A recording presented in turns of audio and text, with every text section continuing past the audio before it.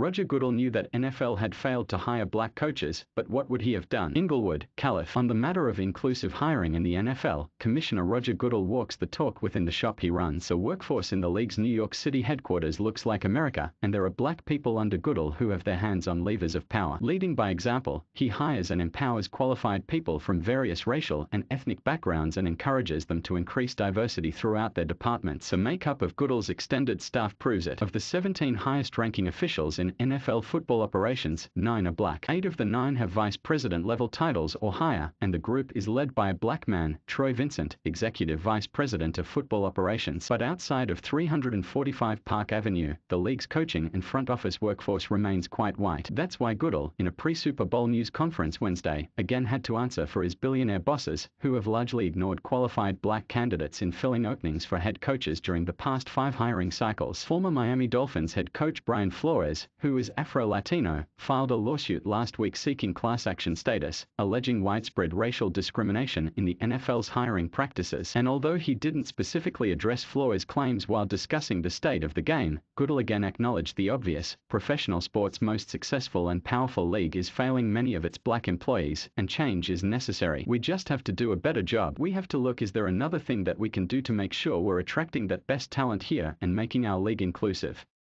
Goodell said on the campus of SoFi Stadium, where the Cincinnati Bengals and Los Angeles Rams will play Sunday in Super Bowl LVI. If I had the answer right now, I would give it to you. What we have to do is step back and say, we're not doing a good enough job here.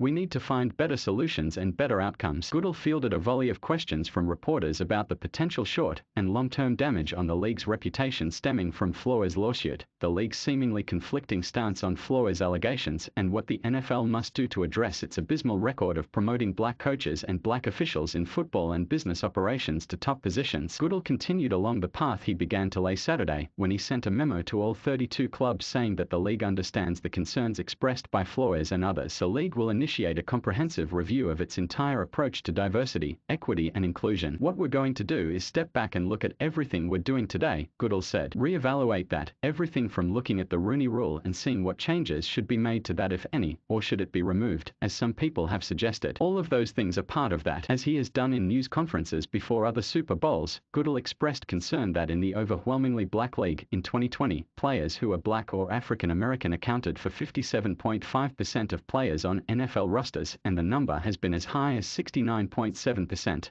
Many black NFL employees continue to be frustrated about their lack of advancement from the front office to the field, and rightfully so. The NFL should be embarrassed. The recent numbers need no explaining. Pittsburgh Steelers head coach Mike Tomlin stood alone as the NFL's only black head coach until Sunday, when the Dolphins hired former San Francisco 49ers offensive coordinator Mike McDaniel, who is multiracial, to replace Flores. On Monday, the Houston Texans promoted Lovie Smith, who is black and served as the team's associate head coach and defensive coordinator this past season to replace David Culley, who was fired after only one season. The league has never had more than eight black head coaches in any season. On January 10th, the Dolphins fired Flores after he became the team's first head coach to have consecutive winning seasons since 2002 and 2003. Ron Rivera of the Washington Commanders and Robert Saleh of the New York Jets are the league's other minority head coaches. White coaches were chosen for the first six of nine openings for head coaches that will be filled this cycle. The news of the McDaniel and Smith moves occurred after Flores' lawsuit lawsuit was filed, and the league announced plans to review its approach to inclusive hiring. Let's take Coach Flores' litigation and put that to the side. That will go through the legal process, Goodell said. What's really more important is to talk about what Coach Flores was talking about and other coaches have talked about with respect to what really is happening in the hiring process. What's good, what's bad, what's not leading up to the results we expect to have. We've made a tremendous amount of progress in a lot of areas, but not at the head coach. That is something that we really have focused on to try to get the kind of results that we we would expect, and we fell short of that by a long shot for us. Over the previous four cycles, there have been 27 openings. During that span, three black men became head coaches. In less than 24 hours at the outset of Super Bowl week, two were tabbed to lead teams. Just like that, I don't think you take anything off the table until you have people look at that, help us independently say, is there something flawed with our process, Goodell said. And if there is, what can we do to resolve that and fix that? If I knew something was flawed with our process in any area, we would be addressing it. Rob Carr, Getty Images, masterfully Initially, Goodell steered clear of being pinned down on how the NFL could quickly announce that Flores' lawsuit is without merit and announced just four days later it's time to commission a comprehensive and long overdue evaluation of the league's approach to improving representation in its workforce. The initial reaction was regarding the legal claims themselves and not really what we would say the experiences of what Coach Flores was going through, Goodell said when asked about the NFL's initial statement on Flores' lawsuit. That's what I'm more interested in. I put the legal claims and the legal process to the side, and that will be handled by lawyers. To me, it's sort of more important to listen to Coach, understand what he and other coaches are going through. To put it kindly, the NFL appears to have conflicting positions on the Flores matter. It's important to note, however, that the league can argue that the specific complaints alleged in Flores' lawsuit are without merit while expressing concern about his overall critique of the league's hiring when it comes to race. No matter how illogical it may appear to some, the league can maintain both positions. Although Goodell and other league officials acknowledge there's plenty of heavy lifting to do in hiring on the coaching front, they point to gains made in the front office as an encouraging development. During this cycle, the Chicago Bears hired Ryan Poles, formerly executive director of player personnel for the Kansas City Chiefs, as their new general manager. The Vikings hired Kwesi Adofo-Mensah, formerly vice president of football operations for the Cleveland Browns, as their new general manager. Three black general managers were hired during the previous cycle, Terry Fontenot of the Atlanta Falcons, Brad Holmes of the Detroit Lions and Martin Mayhew of the Commanders. The league now has seven black general managers. The NFL has never had more than seven. Baltimore Ravens team president Sashi Brown became the second black team president in NFL history last week. Brown, who formerly served as chief planning and operations officer for the NBA's Washington Wizards and had a stint as the Browns general manager, joins the Commanders' Jason Wright, who became the first black man in NFL history to ascend to the position in August 2020. That's all noteworthy. The problem is, there's still too much going wrong overall for league officials to take a victory lap regarding a component or two of hiring. That's just not how this works. There is no finish line for diversity and inclusion, Goodell said. That's something that constantly we have to keep at the forefront of everything we do. It makes us better. It makes us bring the best talent into the league. Proponents of inclusive hiring who have sat across the negotiating table from Goodell insist has an ally in the struggle. And on this, Goodell has proven his bona fides. But Goodell clearly isn't on the same page with the people to whom he reports, and Flores' lawsuit again put him on the spot because of them. Jason Reid is the senior NFL writer at The Undefeated. He enjoys watching sports, especially any games involving his son and daughter.